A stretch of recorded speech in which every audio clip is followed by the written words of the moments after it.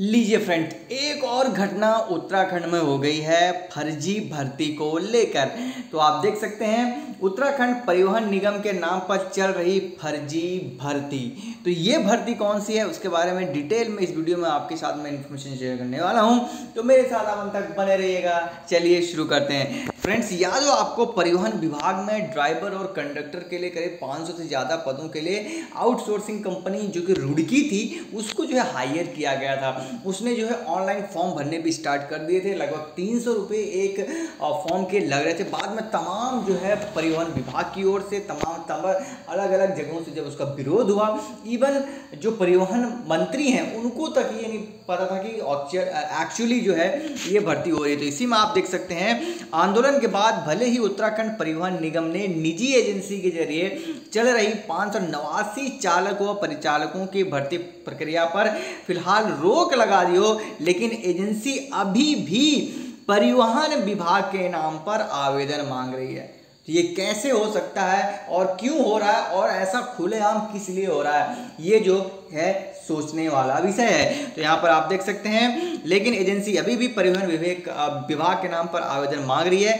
Website पर agency ने परिवहन निगम में भर्ती के नाम पर आवेदन मांगे हुए हैं और हर आवेदक से तीन रुपये शुल्क लेकर पंजीकरण भी किया जा रहा है। यही नहीं, एजेंसी ने पता भी निगम मुख्यालय का दिया हुआ है और भर्ती के लिए चिन्ह भी निगम का लगाया हुआ है। तो विज्ञापन देखकर हज़ारों लोग जो है इसमें फॉर्म भर रहे हैं। तो आप देख सकते हैं किस तरह से तमाम जो है परिवहन विभाग के नाम पर, परिवहन विभाग के नाक के नीचे से ये पूरा कांड हो रहा है। लेकिन पूरा विभाग अभी भी जो है यहाँ पर सोया हुआ है। आखिर ऐसी क्या मजबूरी है कि ऐसा ये काम चल रहा है? तो आप देख सकते हैं है कि समिति की रिपोर्ट के मुख्य अंश तो आप देख सकते हैं, बस संचालन निगम में वर्तमान में 803 नियमित और एक हज़ार छह सौ सत्तासी विशेष श्रेणी के संविदा परिचालक तैनात हैं।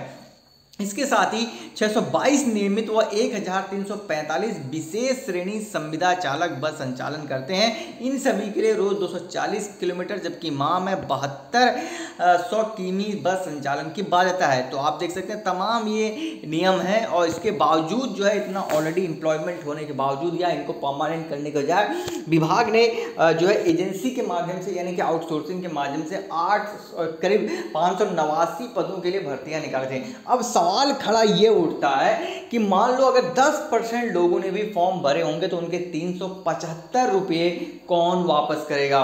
कौन इसका जिम्मेदार होगा?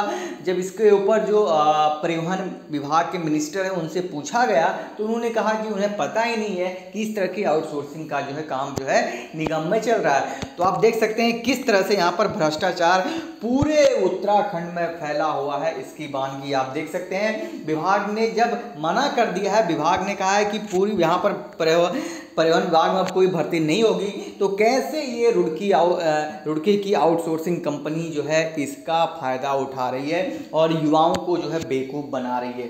तो आप देख सकते हैं, कहीं ना कहीं इस पर सरकार पे भी खड़ा उठता है सवाल और निगम पे भी खड़ा उठता है। और जो मंत्री हैं, वो भी क्या कर रहे हैं और विभाग के अधिकारी क्या सो रहे हैं, सभी पर सवाल उठता है। लेकिन फिर वही है, जब तक उत्तराखंड का युवा सोता रहेगा, उसके साथ ऐसा होता रहेगा। तो मिलता हूँ नेक्स्ट वीडियो में। थैंक्स वॉचिंग मी जय हिंद, जय भारत, जय उत्तराखंड।